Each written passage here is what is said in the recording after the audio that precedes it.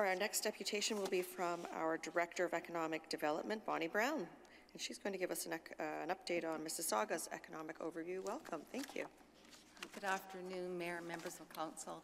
It's my privilege to share with you a closer look at Mississauga's economy.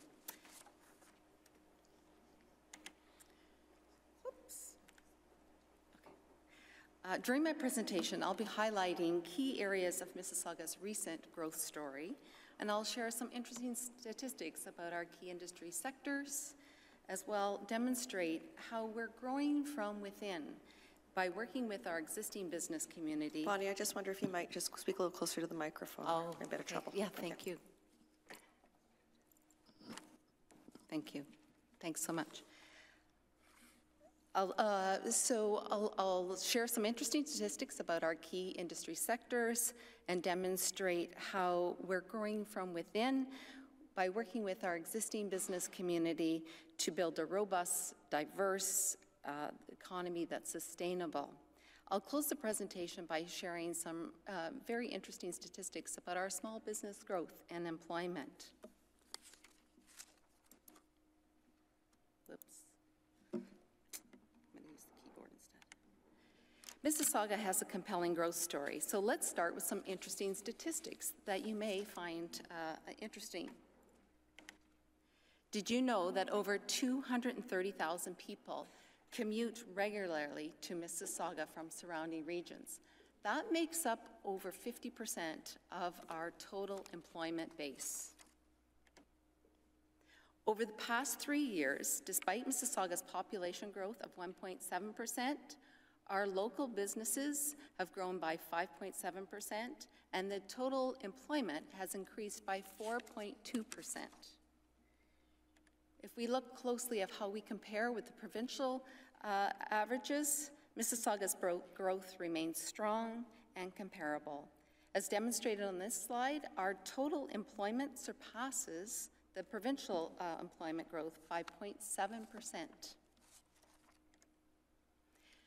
And if we look at how Mississauga compares within the GTA, our employment growth accounts for 14.5%. This is well above any of the other GTA uh, municipalities and second to Toronto. Turning to our key sectors, Mississauga is home to a diverse number of sector concentrations that are unique within Canada. Our ranking is well above Canada's key industry sectors. As you can see here on this slide, that each sector's share of total employment in Mississauga is much higher than the sector's share of employment relative to Canada. Not only are these sectors areas of global competitiveness, they are also high value drivers of our economy. We estimate that our uh, key sectors account for 28% of our total employment, but over 40% of our total economic output. So now I'd just like to highlight three of our key industry sectors. Our aerospace sector. So not only is Mississauga's aerospace sector ranking first in Canada, it's also globally recognized by FDI Intelligence Aerospace Cities of the Future. Global rankings we've achieved for best innovation and attractiveness, and second for best overall FDI strategy. With over 345 aerospace companies, uh, we have 28,000 employees. It's the largest aerospace sector in Canada. In the past five years, the number of uh, aerospace-related businesses in Mississauga increased by 18% compared to 2% growth in Canada. And this sector shows no signs of slowing down. We've had recent investment announcements by our local aerospace industry leaders, such as MHI. They've announced a 208,000 square foot expansion, and certainly Bombardier's announcement to build a center of excellence for its global business jets here in Mississauga is quite exciting. Our life sciences sector, you may recall, Council, in 2017, Mississauga adopted a five-year life sciences cluster strategy. This strategy was quite unique in that it was the first municipality to pass a uh, cluster strategy. And we've set out a bold vision for Mississauga to be a life sciences commercialization hub in Canada. Already, we're the second largest life sciences cluster in Canada, uh, and we've also seen some recent investments by GlaxoSmithKline announcing a $36 million investment to modernize their plant. And uh, we've also seen announcements by Baylis Medical with their announcement of an expansion to their R&D uh, and manufacturing facility. Our life sciences sector now employs over 24,000 employees. The GTA was recently recognized as the fastest growing technology talent hub in North America, and Mississauga is at the center of it all. We have the second largest cluster of ICT companies within the Toronto Waterloo Innovation Corridor. That's more than Kitchener, Waterloo, and Markham combined. With over 700 ICT companies employing 30,000 people, we've seen a, no, a, number of growth as well in this technology sector, with our very own homegrown SOTI making an announcement of uh, an, uh, 20, 725 additional employees that they plan on hiring.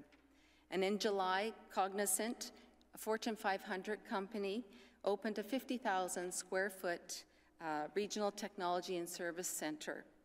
Cognizant has partnered with local colleges to launch a technology skills and training program. By the end of this year, Cognizant expect to have hired 600 employees. By taking a sector-based approach, we are gardening what we have, ensuring that the right support systems are in place to build the strong, globally competitive industry clusters. And the term that I like to use is growing from within. A great example of growing from within is the work that EDO has done recently on workforce development. We know that business investment decisions are made principally around having the right access to talent. And through the work of our dedicated sector specialists, EDO uses our unique position in connecting business needs with the broader economic workforce development ecosystem. To ensure that we're keeping pace with industry needs, we have assembled two sector councils made up of leading business leaders from the life sciences and advanced manufacturing sector. Our sector councils allow us to hear firsthand what's happening in the industry and ensuring that we're keeping ahead of the trends and opportunities. An outcome of this dialogue with industry is showing here in this picture, MHI Structural Airplanes Apprenticeship Program for Youth. This is a great example of industry being proactive to fuel their talent pipeline. And finally, I'll move towards small business. They have a huge impact on our economic growth. And after all, they are the cornerstone of our neighborhoods. The vast majority of businesses within Mississauga are self-employed or have less than five employees. Together, this group accounts for 87% of businesses in the city. This share of small business is comparable to other Canadian cities. Over one in 10 Mississauga residents have identified themselves as self-employed. If we look at the last three years, the number of businesses self-employed grew by 11.4 percent while businesses with employees grew by 5.7. In many ways, entrepreneurship represents the current future of, and the face of employment. Entrepreneurship is a career path of choice for a growing number of young people and newcomers to Canada, both of which are population groups with a high prevalence in Mississauga. Therefore, it's critical that EDO continue to help small business and entrepreneurs grow and contribute to the economic growth and vitality. An example of this type of support is told through this gentleman, Satish Therajaran.